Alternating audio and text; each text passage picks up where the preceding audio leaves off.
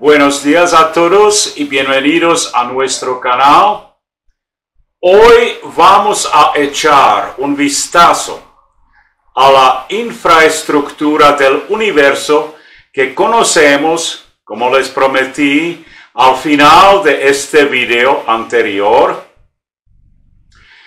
Y vamos a examinar dos argumentos juxtapuestos uno que propone un diseño inteligente inherente al universo, que cuenta con el amplio apoyo de cristianos, musulmanes y judíos, una familia monoteísta, y el otro argumento que niega la visión monoteísta.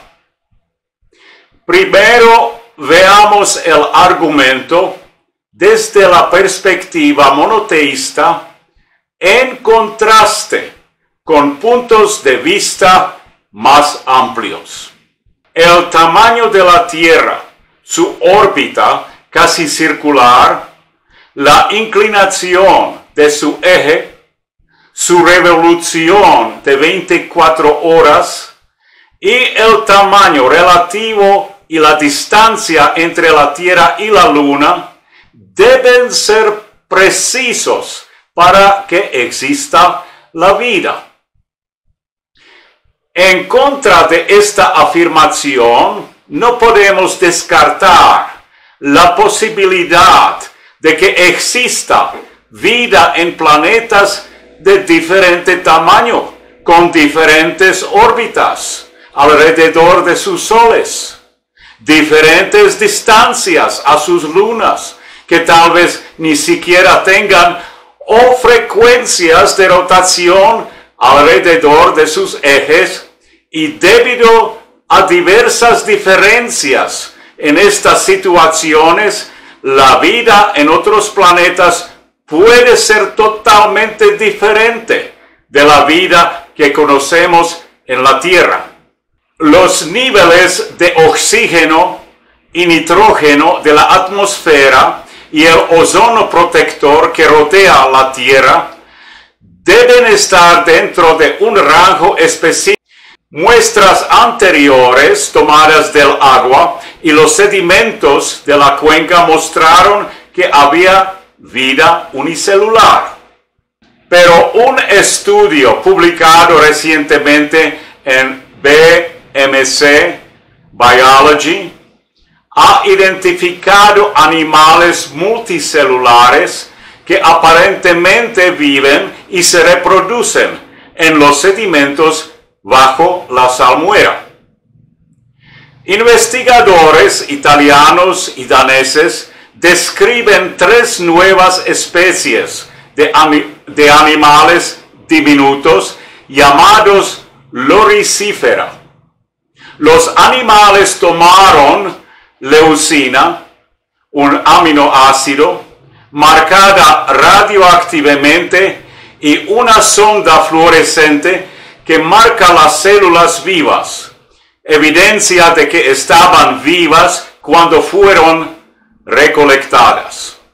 Los investigadores también encontraron ejemplos de individuos que contenían huevos y evidencia de aparente muda, lo que los llevó a concluir que los animales pasan toda su vida en los duros sedimentos.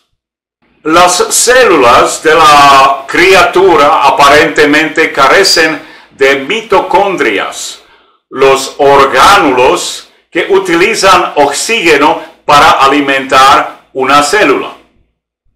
En cambio, son ricos en lo que parecen ser hidrogenosomas, orgánulos que pueden realizar un trabajo similar en ambientes anaeróbicos o libres de oxígeno.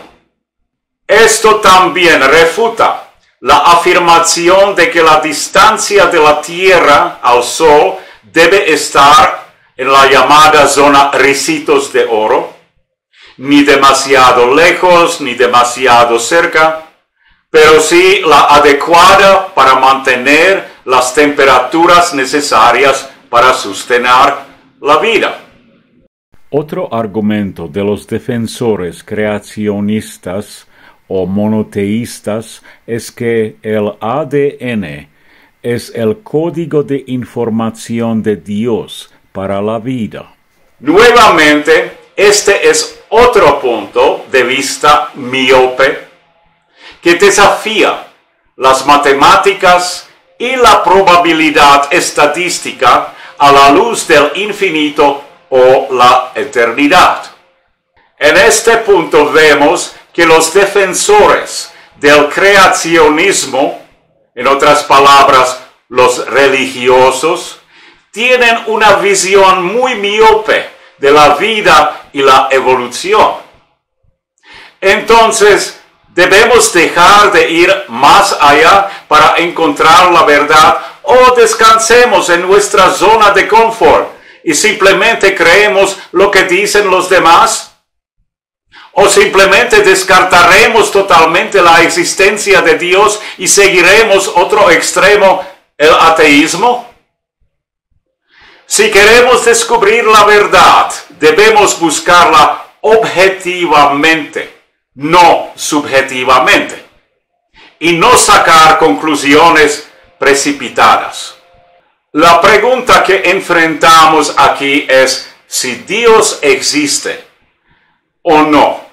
Y para encontrar la verdad debemos dejar de lado todas nuestras presunciones previas basadas simplemente en la creencia o la fe.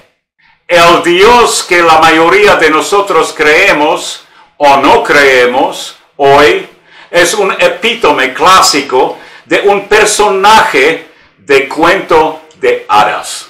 Sin embargo, continuemos nuestro viaje para encontrar la verdad.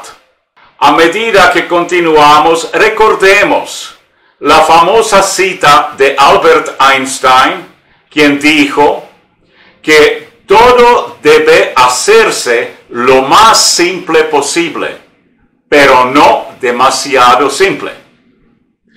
Lo que estaba enfatizando es la importancia de la simplicidad para comprender ideas complejas.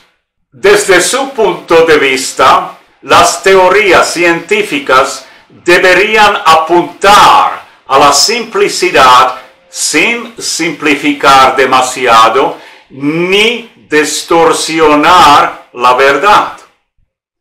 Estaba a favor de encontrar la explicación o solución más simple que represente con precisión la realidad, sin reducirla hasta el punto en que se pierdan detalles esenciales.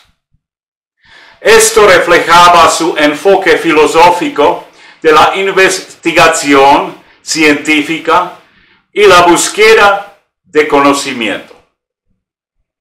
Por lo tanto, basándose en la simple comprensión del concepto de infinito o eternidad mencionado en este video, ¿cómo se puede siquiera intentar definir a Dios o el Ser Supremo?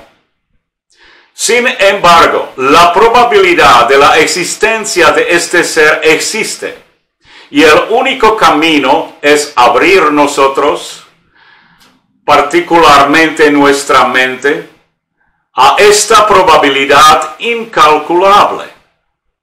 Entonces, ¿cómo podemos hacer esto?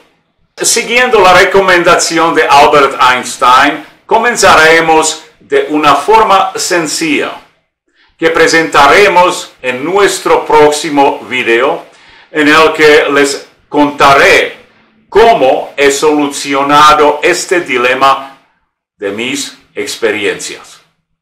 Muchas gracias por ver este video y para ver más de nuestros videos educativos e informativos, por favor inscríbense a nuestro canal.